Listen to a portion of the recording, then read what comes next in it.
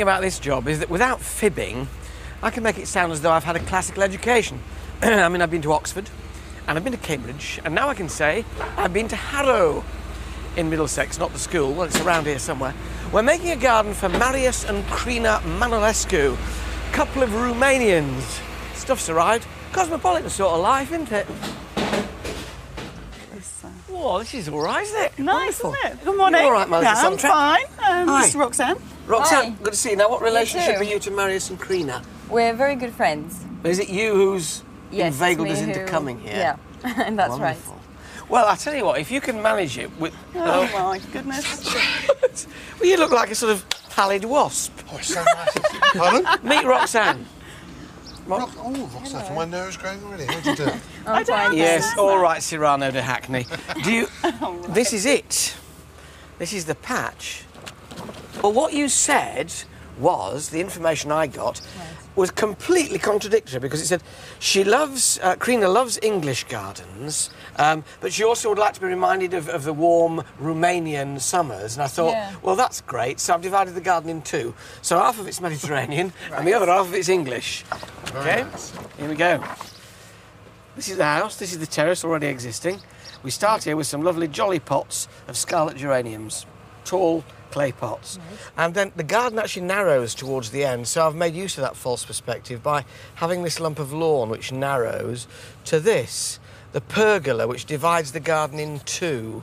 Um, and this side of it, Mediterranean garden. So this is gravel with stepping stones through, and these sort of barber's poles. It looks like Venetian gondolas. You know, tie your string around this and stop your gondola floating away things. Um, and they're down there because I have quite fancy the look of that.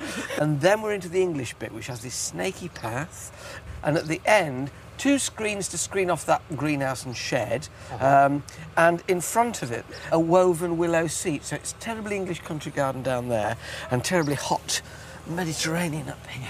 Well, I really house. like it because it actually forms the initial T for Tommy, doesn't it? Yes, but as you see, coming out of the top of the T, there is a question mark because we're never sure. Got me. Ah! well, we caught up with Krina and Marius at the tube station where we asked them about transport. How far do you go? Uh, Liverpool Street. You go to Liverpool Street. Yes, every day. And what, what do you do there? I'm a risk analyst. A risk analyst. Yes. Was it a big risk when you married this man? um, well, uh, I have to say, given the fact it happened about almost 11 years ago, the risk uh, was diminished in time, but uh, not Well, I, considerable. I'd no. imagine it was quite a big risk at the beginning. Yeah, yeah. she yes. took a big gamble. Yeah, yeah, yeah, yeah, yeah. You know, young, free, and wild type of thing. Yes, very much so. So, where have Marius and Krina gone on the tube? Um, they've actually gone to um, Health Farm. Cool. Be nice if they come back here, they can top up their tan now they're fighting fit. Yeah. So, they're coming back tomorrow at what time? Tomorrow, actually about five, Not a lot of time. because they have to leave at four. So They have to leave the health farm at Yeah. four. Right. So first jobs, mark it out, Right. show you where your pergola's going, and get stuck in.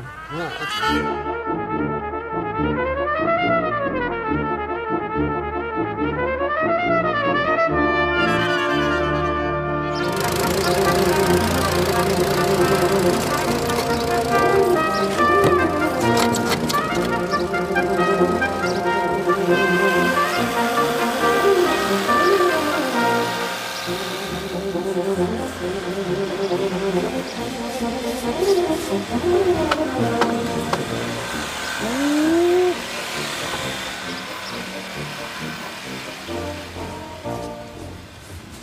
you ready for this? You like this? Look at that. Oh, brilliant. We used to have a pot way, way back. Well, they still do them now, a bit called long toms, which are, forget the lip there, they go straight down on that kind of angle. So they're just like enormous great thimbles. And they're incredibly handsome, I think. And this is a variation on that.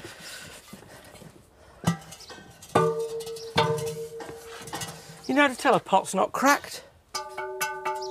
They ring when they're not cracked, and they go gudunk when they are. Thank you. That is going in the middle Yeah. over there. Hello. Oh, who are you? Paul, Roxanne's husband. Paul. Oh, let's fill your mustard, Paul. No, don't, not on TV, for God's sake. Are you here to help? yes, most certainly. Right, well, we need the mixer off, and we need a mix stone.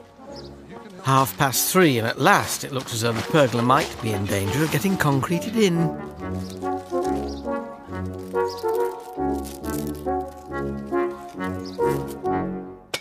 But first, a little persuasion is needed to encourage the metal shoes onto the posts. They'll be buried in the ground, eventually. But the other way up, of course. I'll mark it down 65 and 7 eighths. You keep the light there, the beam, and I'll just adjust it. You see Mr. Walsh's latest toy? It's brilliant. It's a laser level. Little red light out here. You see that red light? In there? It's on your arm at the moment. Sorry, I won't burn. Um, now, this is our level. Very clever. Little bubble in the top so make sure you've got your level level. And then you line it up, look at this, on the pencil mark. And then look at the pencil mark on the other up right over there. And if it's level with that one over there, which it is, and then you whiz it round to that one over there, and they're both the same level. Isn't that clever? Diabolical cunning. I think we ought to put all these type ones in. So if you bring all these ones down with this dark leaf and leave all those ones, yeah? Okay. And I'll bring the pots in. Okay, I'll start going. Okay.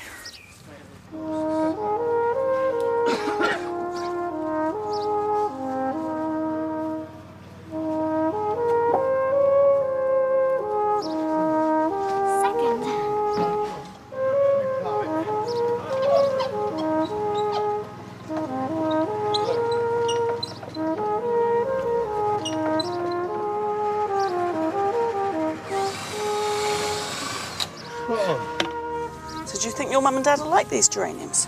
Yeah, because Mummy hasn't really had much flowers in this garden. Hasn't she? She's always, last year we planted some and they hardly grew. Oh dear. Okay, that's the last one. We'll squeeze it delicately into this space. Now I have to get some water. The watering can's down there. That's right, it is.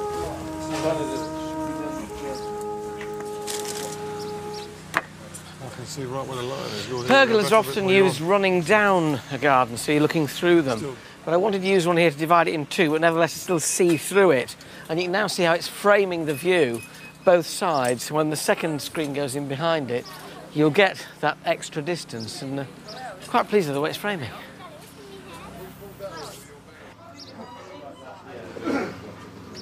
Right. Yeah.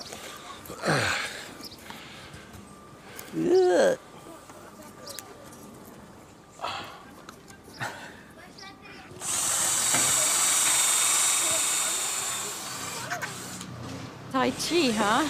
Tai Chi, yes. Excellent.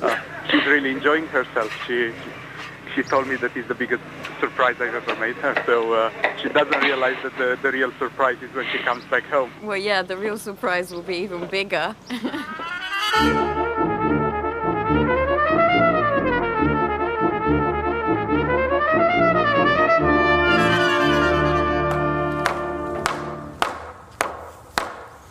It's a bit snug, this one.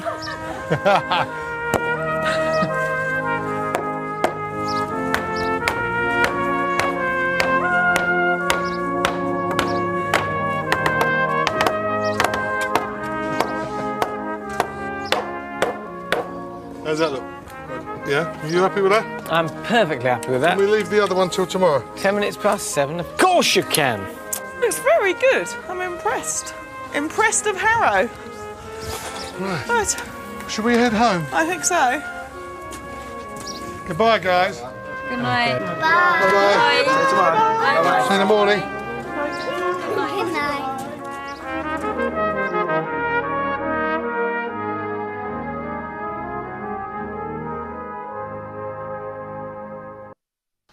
Oh, the great days in the distance enchanted, days of fresh air in the rain and the sun. How we rejoiced as we struggled and panted. Hardly believable, forty years on, Harrow's school song. Mm, nice sunny day again. Two and trot. She's not been there, has she? No, that's true. She'll probably be in the back garden. With any luck. Never know. Okay, great. Okay. No problem. See you later. Bye. Good Morning. Isn't that wonderful? Quiet. No Tommy, no saw, no shouting. Not for long. Cup of tea would be lovely, No Roxanne. problem. I'll put one on.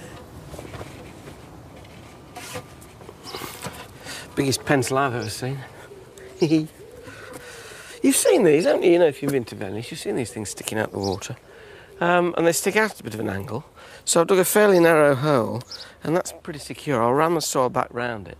And then I want to get Tommy to make a cap for the top, and then some kind of finial, which is going to be difficult, but uh, not impossible, hopefully. And I don't want them to be vertical. It's going to look a bit strange, I suppose, with that vertical pergola behind it. But what the heck, it'd be different, wouldn't it? Oh no. Do you hear that noise? Oh no, that's not a ground force lorry, is it? It is. the silence will be shattered.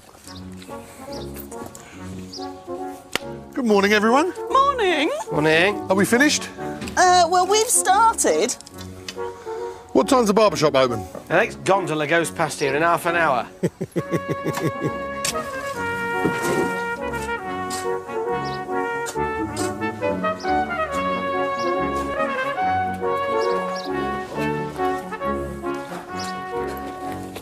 Look at that, Agapanthus, African lily, sex on stalks. Now look at that against that lavender fence and weep.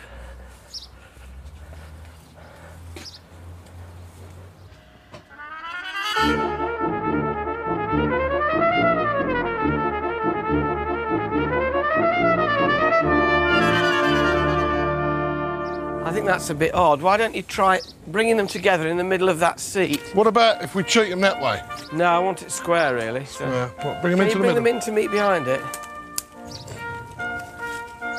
Yeah, that's better. And then we'll have a pathway round either side. Excellent, thank you.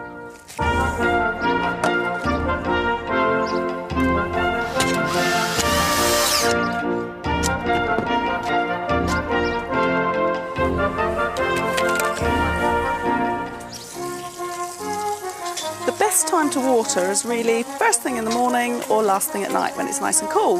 And you shouldn't really water in the heat of the day. But when the plants need water, they've got to have it.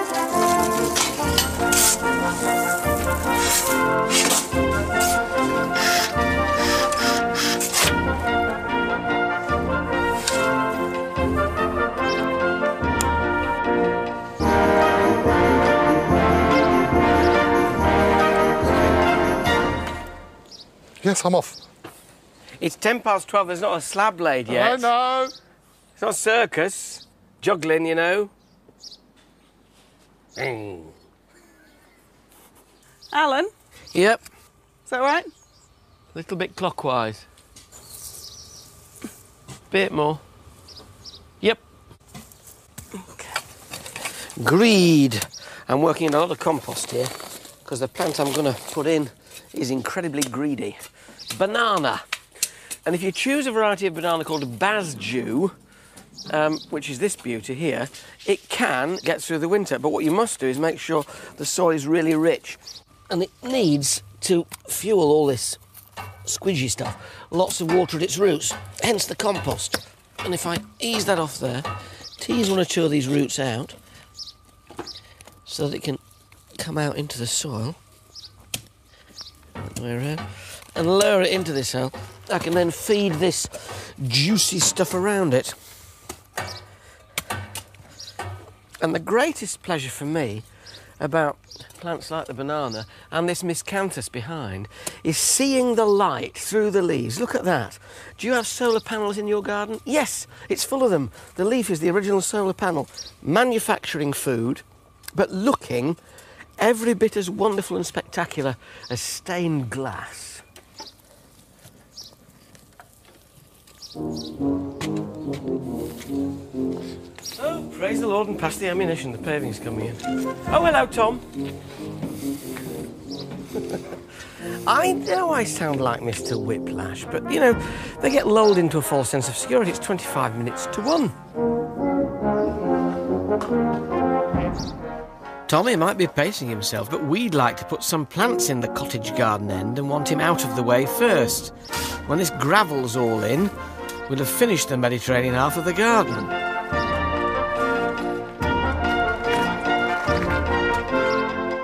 Or rather, it will be finished when Tommy lays the paving slabs for here too.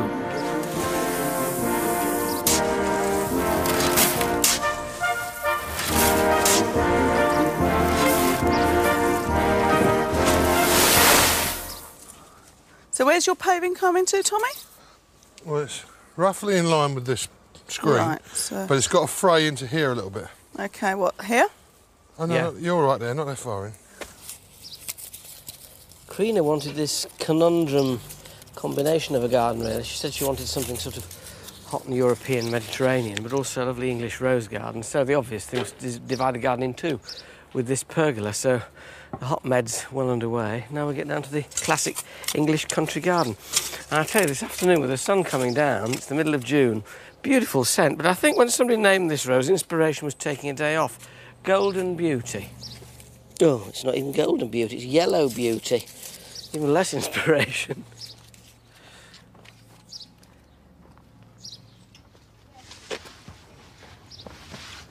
He was in college. Peter Vaughan. And we were in Bourne Road. It's quite damp, this. Don't lean on them too hard. I could float Well. if I were a fairy. Don't say anything.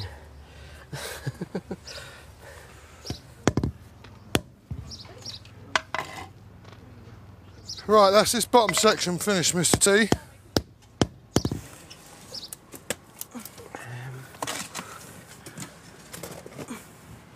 Further. Luke. Tommy, Yes. would you like me to lay the slabs in the beds dry? It being in the middle of a flower bed, they don't necessarily need to be mortared in. If you want to lay them out dry, then I'll how you want them, and then I'll bed them up. It'll only take me ten minutes to bed them Sure. up once you've set them out. Okay. I should keep them occupied and keep them off my back for a while. I missed that. Tell me later. I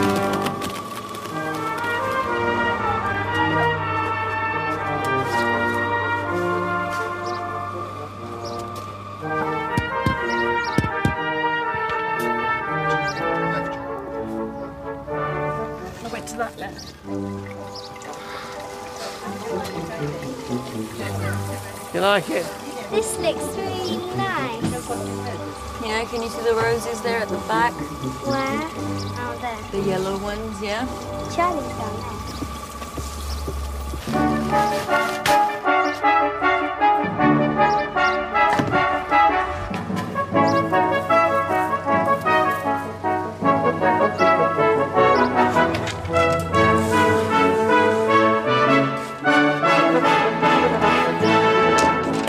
Think if you look at this grass that's in a bit of a state, and you'd be right. Come down here and have a look.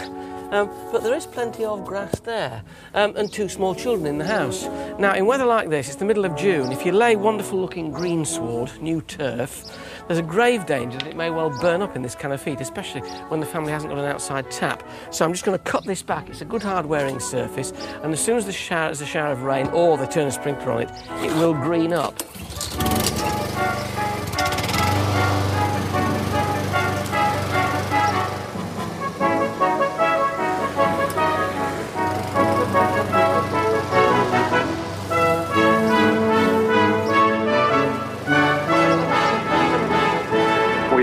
We are so 10 15 minutes. 10 15 minutes. Uh huh.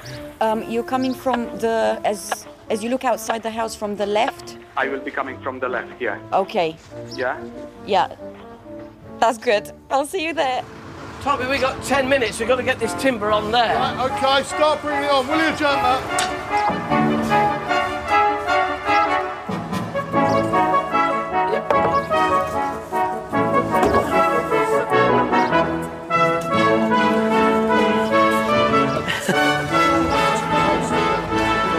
There's another four before, Willie. There's another one more. Which way? Do you want me to go there? Right, will he see me back?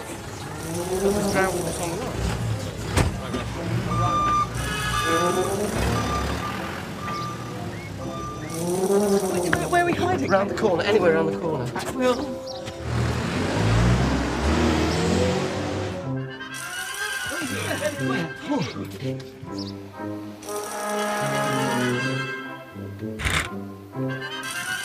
Dad,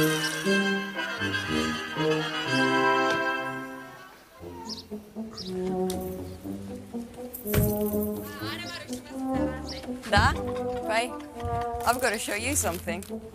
It's really good. No way! Look!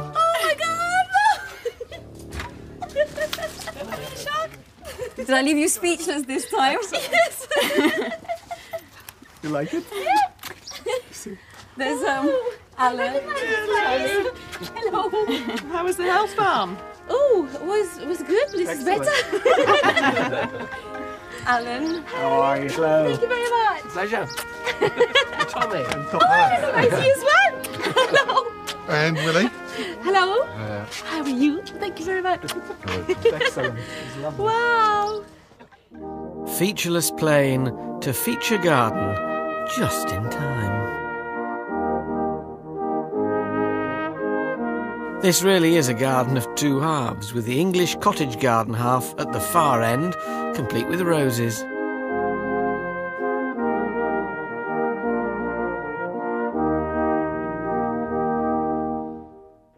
The transverse pergola acts as a divider, supplying seating to left and right and retaining the Romanian half closest to the house.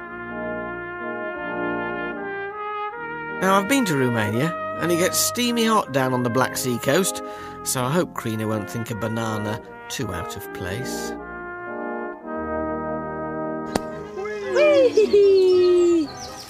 There we are, Marius. Thanks Nerve wracking job. Very well, worse for you in a way, wasn't it?